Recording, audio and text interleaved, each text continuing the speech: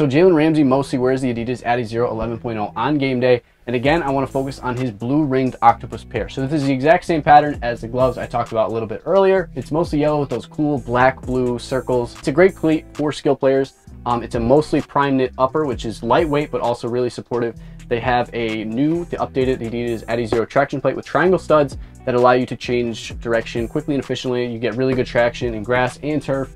Um, overall, a really great option for all my skill guys out there. So now the second pair of cleats that Jalen Ramsey has worn this season is the Adidas Freak Ultra Prime Knit Laceless. Ramsey was a huge supporter of these um, during the training camp period of the NFL. He wore them almost exclusively and then he wore them for pregame this season in this really cool blue white with crystals colorway that you guys see here.